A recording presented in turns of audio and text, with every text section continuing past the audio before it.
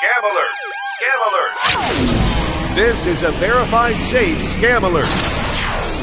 Welcome to the Verified Safe Scam Prevention Series with your host, Troy Williams.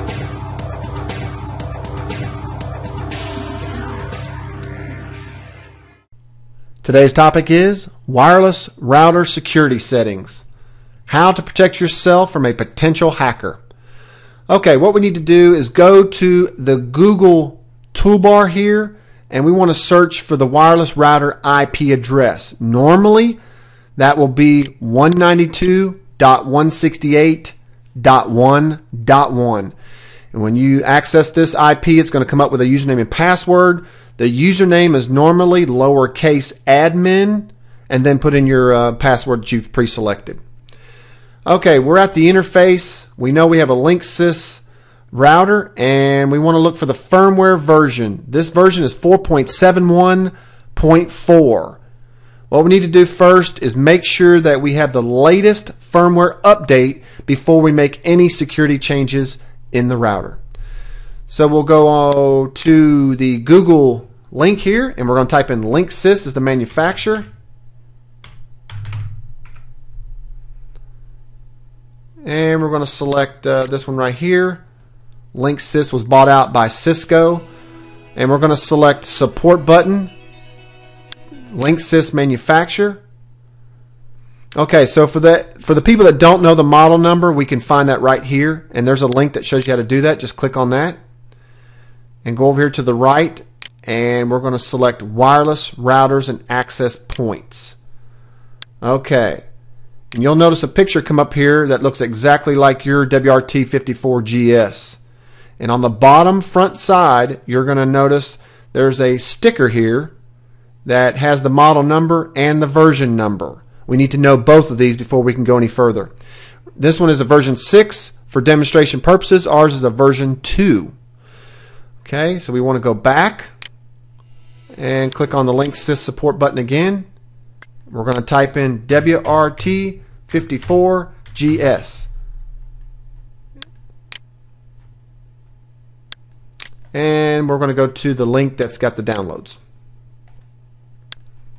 Okay, the download section here, we're going to open this menu. It says select hardware version. We know we have a version 2.0 so we're going to select that and we're going to find out if this is the latest firmware that we already have on the router.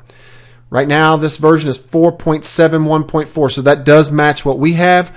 Our system is current, but if your system says anything else, a lower version, you need to go ahead and download that now, and we could do that with this link. We're going to save it to our desktop.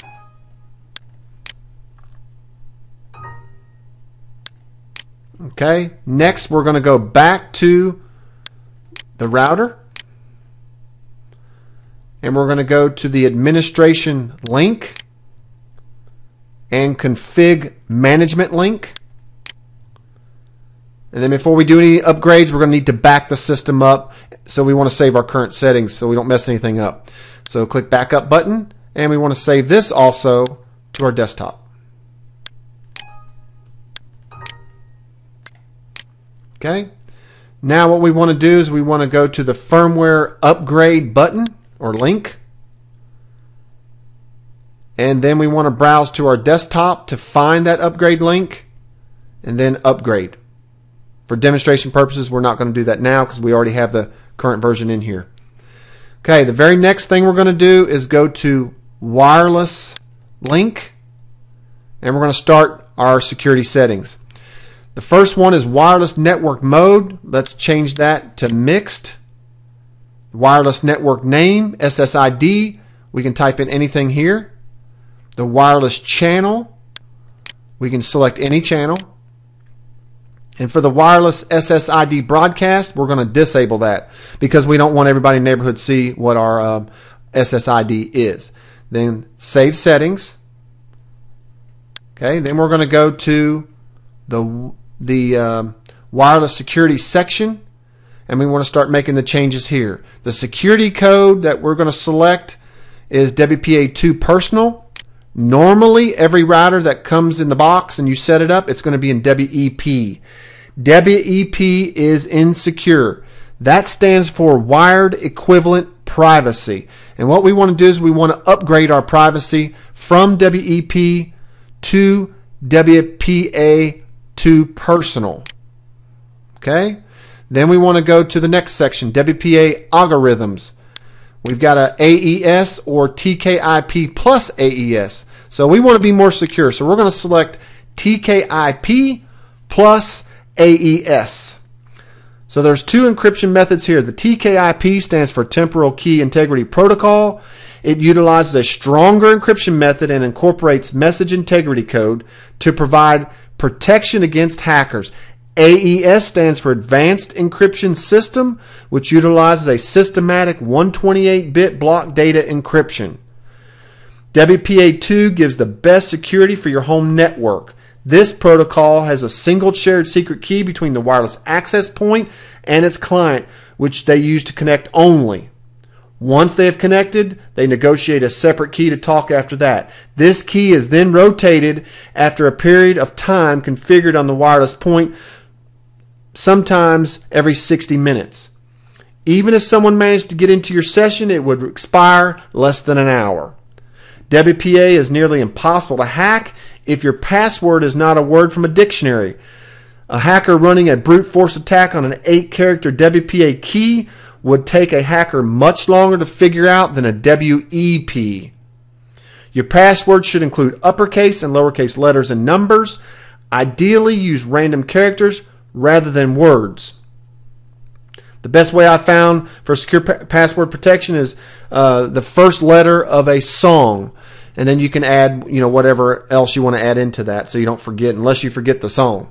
So right here, you're going to put in the uh, 20 character WPA encryption password, or you can go up to 63 characters if needed.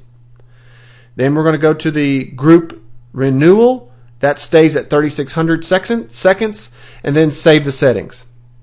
Okay? Then basically you're done at this point. Your system is uh, more secure. Um, want to caution you, you're not going to be immune to hackers. If they want to get into your wireless system, they still can. But in this particular WPA setting, it's going to be lots harder for them to get in, and that's what we want to do. We want to make it harder for attackers to get into our system. Uh, if you take your laptop to a coffee shop, uh, if you take it to a hotel, a convention center, wherever, you're not going to be 100% protected. If you use WEP, it's going to be easier for them to hack into it. And if you change it to a WPA, that's going to deter them and make, and make it a lot longer for them to get in. For more information on computer safety and scam prevention, visit www.verified-safe.com. And remember, you and Verified Safe can prevent identity theft and scams from happening to you.